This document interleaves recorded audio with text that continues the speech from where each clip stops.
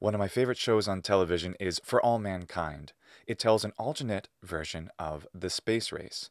And this show is known for its scientific accuracy, which makes sense because we're actually dealing with historical space travel. But there's a particular scene at the end of the first episode of season two, which just came out last night, that I want to talk to you about because I wondered, is that really scientifically accurate? Let's talk about that together. I'm Luke, and this is Polymathy. One of the creators of For All Mankind is Ronald D. Moore, who made the just outstanding series, the reimagined Battlestar Galactica from about 15 years ago, which also is known for its realistic qualities in a space environment, as well as being a really good show with outstanding characters, cinematography, visuals of all kinds, sound, and music. And For All Mankind is really amazing just like that. And what I'm going to tell you now is going to be a spoiler for the first episode. So if you haven't seen it, go and see the first 10 minutes and then come back. So, spoiler alert at the very beginning of the first episode.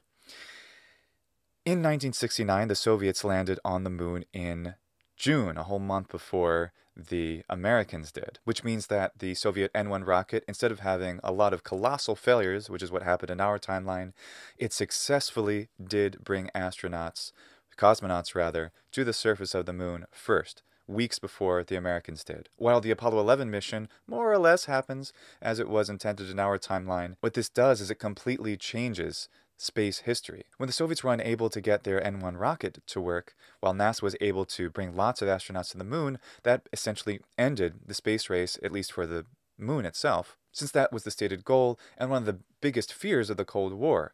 For the Americans, it was the idea of a red moon, a moon controlled by the Soviets, which could be a staging ground for warlike activities, etc.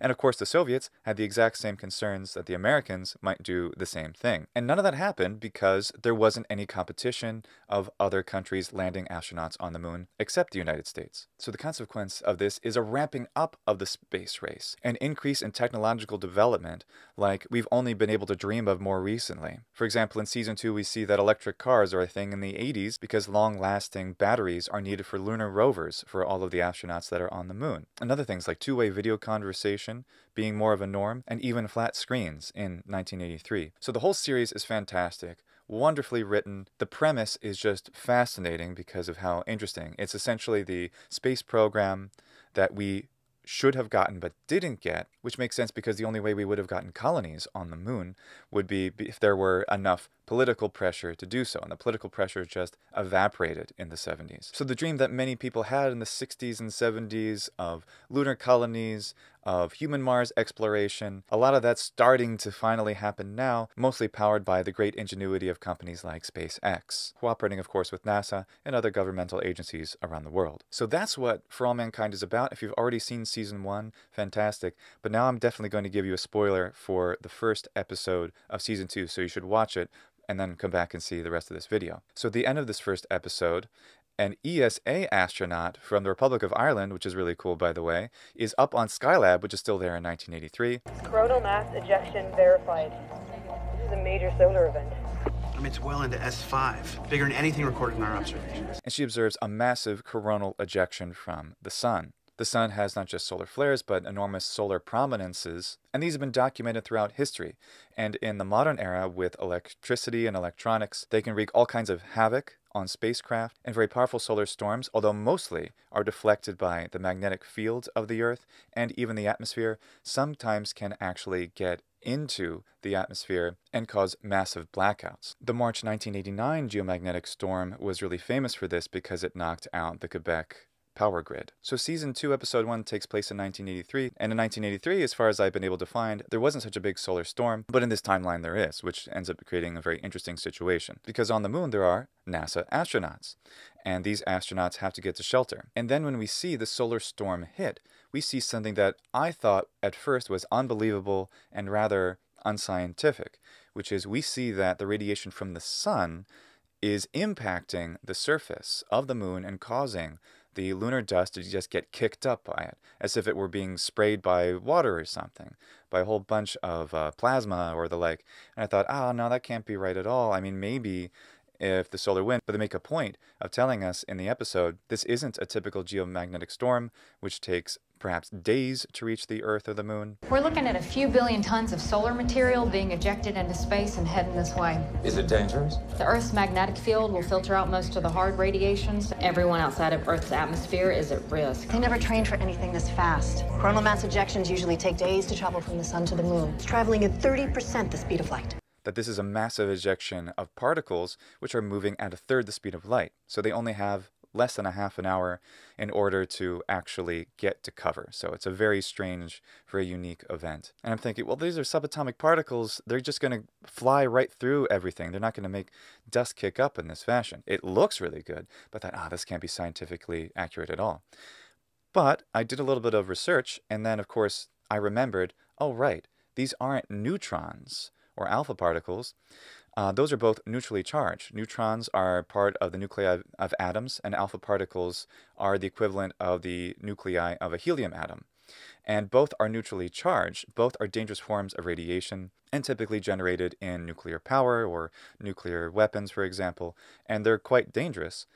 But what's coming out of the sun are protons. But this isn't a CME, this is hard proton radiation. That's deadly. And they're positively charged. And then I also remembered that lunar dust is also negatively charged. And this is actually from the interaction with the solar wind over millions, in fact, billions of years. So the interaction of a storm of positively charged particles from the sun with very light, very fine, uh, very low mass lunar dust and getting pulled up in this way is a little bit more like the interaction of lightning on the Earth, where you have one charge from the atmosphere interacting with charges from the ground, which meet together. So the lunar dust is pulled up towards these almost uh, magnetic field lines, these, I assume, waves of, uh, of protons. That might be what we're being shown here, that look something like waves of, uh, of protons that are going across the surface and making this amazing and beautiful and absolutely terrifying effect. And since this is one of the most powerful storms from the sun that's seen in this timeline, it can maybe be that powerful that you'd actually be able to see it. To my knowledge, we've never observed anything quite like this on the moon, but after reading this paper, which I'm going to link in the description, it looks like, yeah, maybe this actually could be how it would look on the moon if there were a really, really powerful solar storm. And the scene, just to you know throw in some more spoilers, uh, is really uh, cool and terrifying because most of the crew, there's it looks like nearly a dozen, of uh, NASA on the moon at this time is able to take shelter inside of the base, inside a radiation shelter.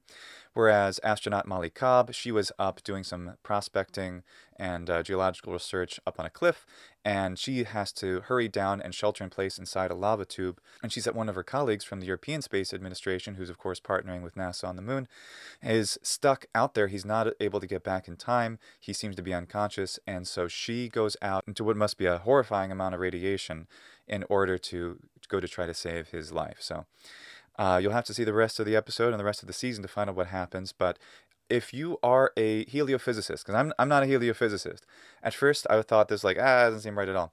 And uh, if you've already seen the show, you might have thought that too. Uh, but then looking at it a little bit, it's like, oh, this actually might be a way it could look. And maybe it's, and not only is it really beautiful and really great looking for the show and terrifying and great for the scene, the music and everything is fantastic. The cinematography, it's beyond belief how good and how real it all looks. And maybe this is scientifically accurate completely, that it could look exactly like this. So if you know more about physics, if you know about heliophysics in particular, and uh, interactions with the lunar dust, and uh, you know how this should look, I would love to know. And uh, if I get enough uh, clear answers, I'll pin a comment eventually at the top of uh, the comment section so that we can, in fact, uh, know and, and appreciate that this is, in fact, scientifically accurate. So uh, I do strongly recommend the show for all mankind.